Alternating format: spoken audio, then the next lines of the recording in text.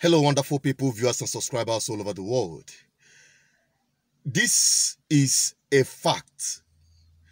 What you're about to see and what you'll be hearing from this platform is an indices to show and to prove beyond every reasonable doubt to a large extent Nigeria will never survive Buhari government.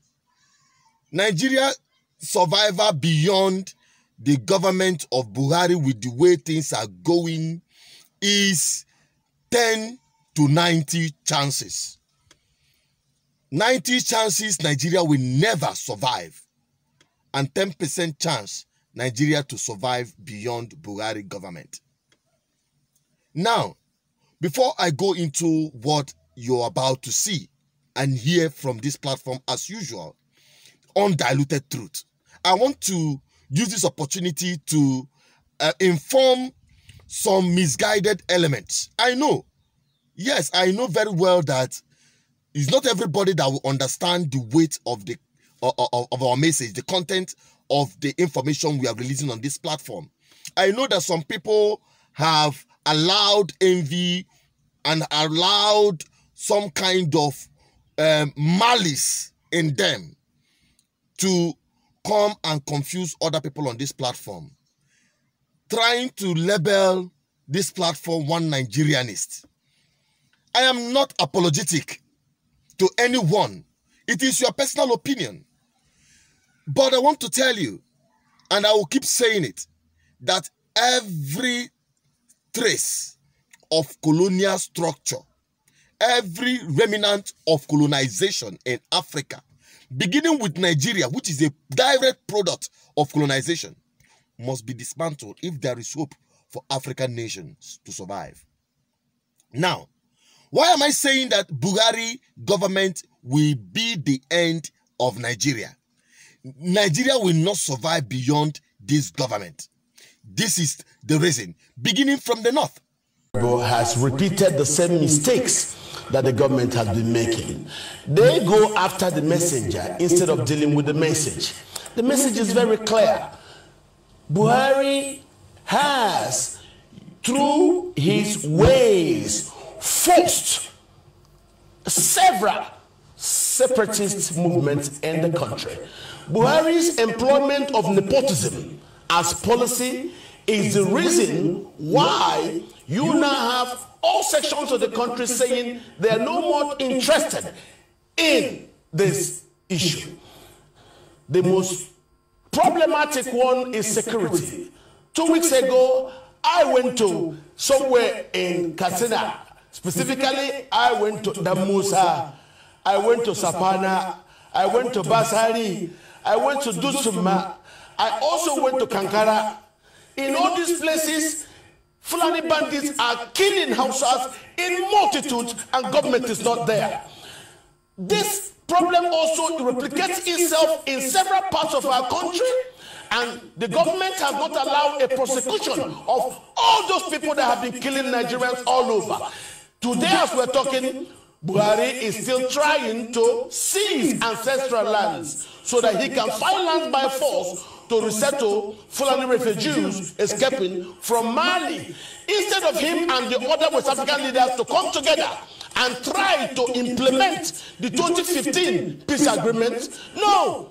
All he's been doing is using one scheme after the other to try to seize ancestral land. He said grazing reserve, we said no. He said the cow colony, we said no. He said uh, he wants land for uh, uh, Ruga, we said no. Now again, he is talking about consolidation of all the streams and waters and everywhere we have uh, waterways plus six kilometers of land therefrom so that he can have land and water to be able to use to resettle refugees. This is not the right way to rule this country. Yeah. Everywhere there is tension. Yes, sir. Mr. policies have divided this country. So That's how why we are happy Yeah. that President Obasanjo is speaking up. Now you had this man. He made it explicitly clear.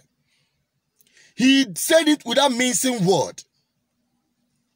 That Nigeria has witnessed the worst kind of government, the worst kind of insecurity that has caused springs of agitation to separate from this unholy marriage.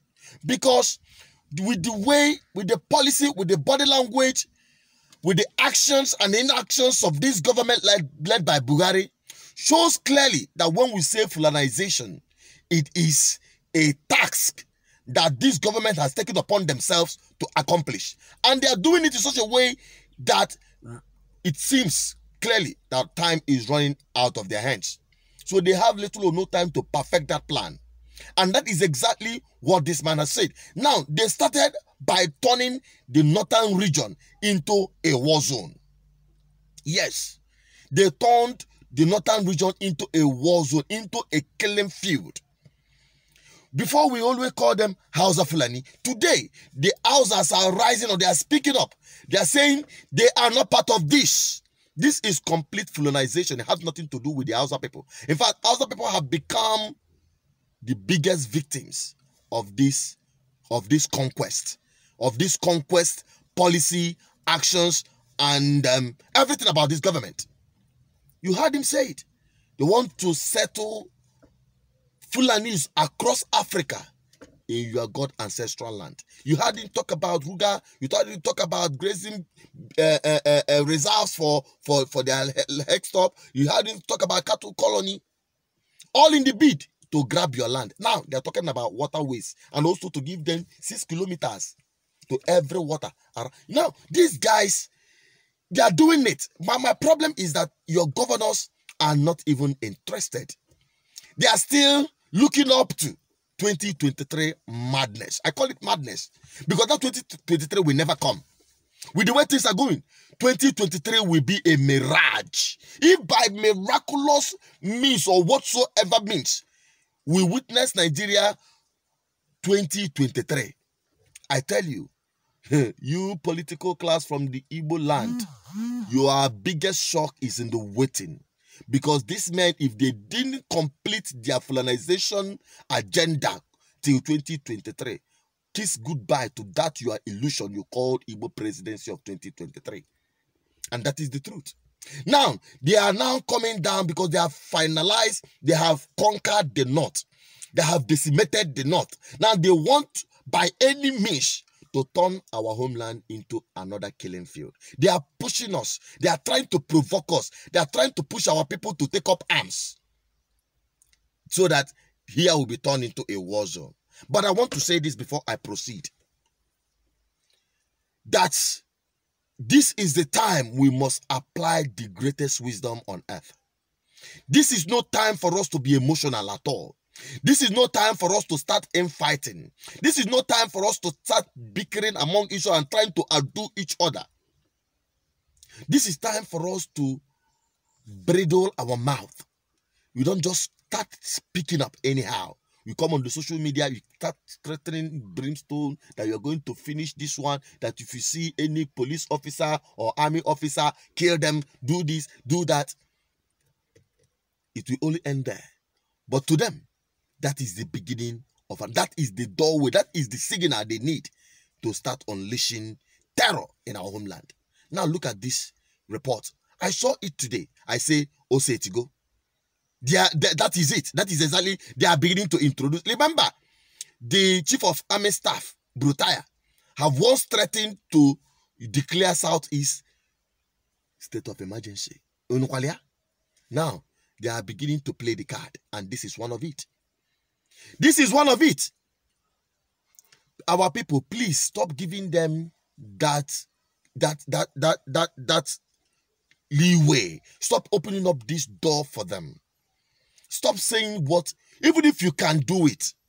Boko Haram, they know they use social media. They know they use radio. They know they announce anything. One, the, the only announcement they do is when the bomb is landing on your roof and on your head, when the massacre is happening. Then you'll be the one to be carrying the news. We should bridle our mouth and stop talking like cowards. This is time for us to take action. This is time for us to come home, go inside, and start preparing. Na There is fire on the mountain. And I think I have spoken enough. It is left for you to take this message out to anyone concerned, especially the Biafran agitators and enthusiasts who will opening up their mouth on social media and talking, talking, talking, talking, trying to open up this door for these people to, to, to come in. I know my people. My people are very peaceful people. They don't want to confront Nigeria with wars of arms and bullets. I want us to limit it that way. If there is anything, I'm saying it if, eh? so that you don't come here and start knocking at my door. Our people should get ready to defend yourself, but you don't do that on social media. That is the truth. Self defense is our God given right, it is a natural law. Even animals does that, but we should apply caution and wisdom. I think I've said enough so far. What you need to do is to share this message. Let every Nigerian hear this. Everyone, eh? Everyone, Nigerians, we are in a hot soup if you allow this to continue. If you just stay there and feel that everything is all right, my dear, before you know what is happening, there will be no land to call your homeland. Whether you are Duduwa, whether you are Arewa, whether you are Biafra. Remember, these Fulanese are sojourners. They are strangers within this geographical space. I've said enough. I'm signing out. Keep sharing, keep liking. If you're new on this platform, welcome on board. Subscribe, like, share, drop your comment there that you have your opinion. And on our social media platform, join us as we always bring you undiluted truth. I still remain associated Peter as the voice of the people, the voice of God, the voice of our ancestors, saying, Stay safe. Goodbye.